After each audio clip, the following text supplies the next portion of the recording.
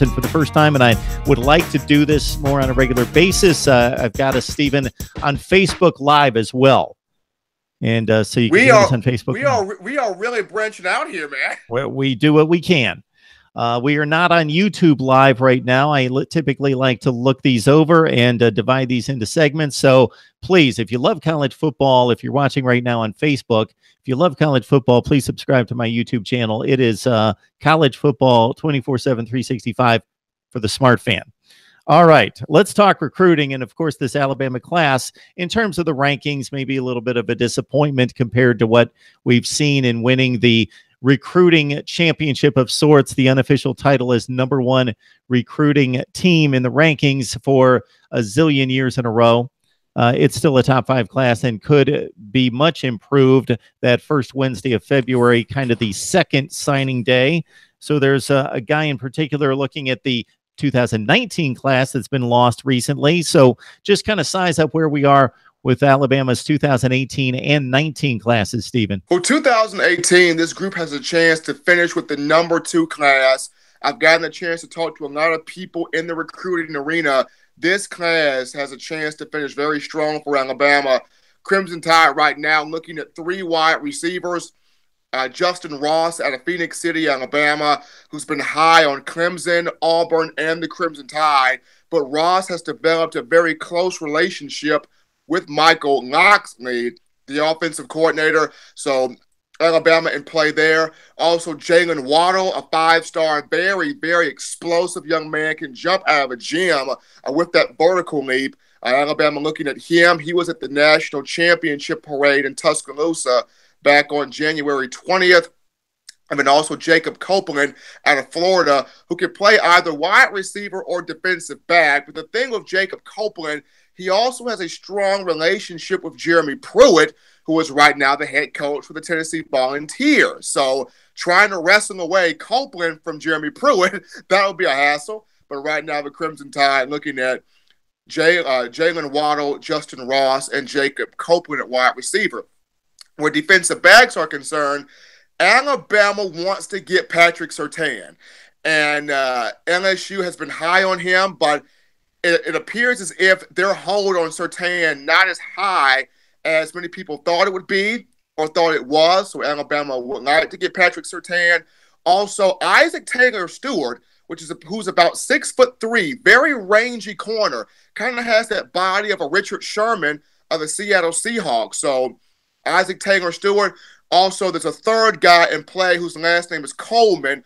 First name kind of slipping me a bit, but last name Coleman those three guys, Coleman, Surtain, and Isaac Taylor Stewart, for that defensive backfield due to Alabama losing six DBs to the NFL draft. We all know them Minkah Fitzpatrick, Ronnie Harrison, uh, Tony Brown, and Levi Wallace, Anthony Averett, and Hootie Jones. Uh, the guys Alabama has already signed in the early signing period, Savion Smith, the JUCO, also Josh uh, Josh Jobe and Jalyn Armour Davis. So three guys already in. Alabama trying to land three more to equal out the six that's being lost to the NFL, and also three more wide receivers. That for the 2018 class. For 2019, the number three offensive guard, DeVee Hammond, the number three offensive guard out of Rivals.com, has decommitted. I'm not sure the reason behind his decommitment could be a family situation, could be trying to really weigh his options. Once again, he has another full year before truly making that decision. And a lot of these kids, they initially uh, commit mark, they do it off the spur of the moment. They do it on, I really think this this school has what I'm looking for. But then as you take some official visits and you go elsewhere and you search different places, you think, wow, you know, this may actually be a good spot for me. Maybe that may be a good spot for me. So then you really start to get the wheels of the brain turning and you start to actually see what other places are out there, and that could be what Hammond's thinking. But right now, the 2019 uh, offensive lineman has decommitted for the Crimson from the Crimson Tide as of right now. So I released a video a few days ago uh, featuring Patrick Surtain and his story and his eligibility and his availability to all the schools out there. Surtain is the number one rated cornerback in high school football out of Plantation, Florida at American Heritage High School. And some of the uh, just superlatives are mind blowing, mind numbing. So consider this, Stephen. Think about it, and everybody listening and watching, think about the best athlete, the best football player that was in high school at the time that you were there, or maybe in the history of your high school. Think about who were the best athletes that we produced for college and maybe the NFL and beyond. Okay. Patrick Surtain is the number one rated cornerback in the country. He is playing opposite Tyson Campbell, who's the number two rated cornerback in the country at the same high school, the two top cornerbacks in the same high school. Maybe a reason why this team has won 27 consecutive games and two straight state championships. And Patrick Surtain's coach is Patrick Surtain Sr., who was a tremendous cornerback at Southern Miss and an all pro with the Miami Dolphins. It's unreal. You got Campbell, Surtain, and Bama wants both of those guys, and it, it's it's like that defense in high school is almost like the Arizona Cardinals defense, where you've got Tyrann Mathieu and Patrick Peterson, or in Seattle, where you have a healthy Richard Sherman, a healthy Earl Thomas, and a healthy Kam Chancellor. It's like, how do we throw on these guys? How do we challenge these guys up and down the field? with the play at wide receiver and quarterback. So Campbell and Surtain, two guys Alabama wants. It's going to be very interesting how the Tide wrap up this 2018 class because it right now it's at five or six, but it's got a chance to end up at number two before it's all said and done. It's got a